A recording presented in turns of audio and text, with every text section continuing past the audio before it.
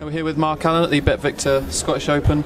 Mark, you came so close last week in York, but you've got the trophy this week. How good does that feel? Yeah, great. And uh, yeah, it was, it was, a tough final. It was got a spell in the middle part where Shaun dominated and he's putting some great long balls. I didn't feel part of the match at all, and got a great chance at six all. And I'd just been froze out for three and a half frames, and I missed probably the easiest clearance you'll ever see. Yeah. And uh, seven six behind suddenly I just felt really calm and uh, started to score. Put a good long red and made 66, then I made 134, and all of a sudden, you know, back in the groove and you know, finished the match well, albeit with a very nice fluke. Yeah, I mean, he was 6 up at one point, and then he wins three frames on the spin to make it 6 6 just before the interval. You have a couple of magnets in the interval too? No, not this time, to be honest.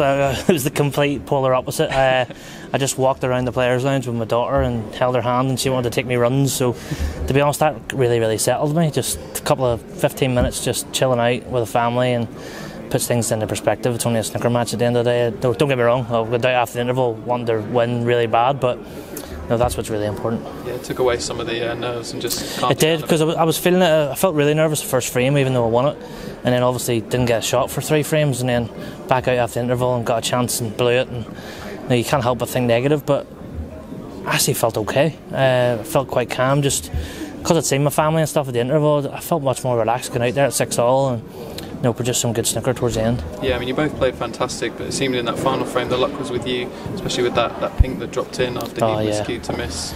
Yeah, well, he missed. He potted another. Uh, he was a good wrong, wrong red, I think, to get in, and he was on 29, and he tried to just nip a black in, which is, you know, they're the type of shots with uh, you can't miscue, and he, he didn't leave anything. But I got in the upper hand then with safety, created a good opportunity for myself, and got in a position where I created a perfect chance to win the match, and you know, twitched the pink in the middle, uh, match ball really in my head because I knew I would pot the red after it, and absolutely blessed to see it go in the green pocket. And uh, yeah, it's I've been on the wrong end of that sort of luck before, so it's nice to get it whenever it really counts. Uh, but it's not nice, especially with it being against Shaun, who's one of my best mates. Not the way I wanted to win.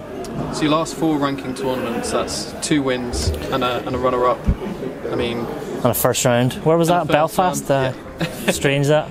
Um, there's still one to elude you. That's that's the world title. With the form that you're in, you're looking ahead to that and thinking maybe this could be the year. Possibly. I, I think I'm getting more consistent. I think my bad games aren't anywhere near as bad anymore.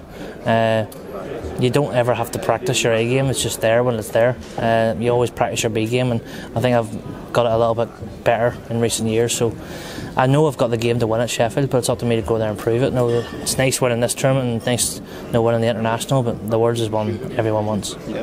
Um, before the Worlds, obviously come up pretty fast to be the Masters, defending champion. You're going to go there with a lot of confidence to try and win that back to back. Yeah, yeah, I am because obviously I've been on a good run, so I want to continue that run, whether it be the Masters or any other tournament. Uh, good memories from last year, and obviously playing Luca in the first round again, same as last year. So lots of good memories to look back on. But it's up to me to go home and keep working hard. And I'm going to take a few days off, put the cue away, enjoy Christmas, and then work really, really hard before the Masters, and hopefully continue the good run. Brilliant performance this week, Mark. Congratulations Thank on the you. win. Thanks Cheers, very much. Mate.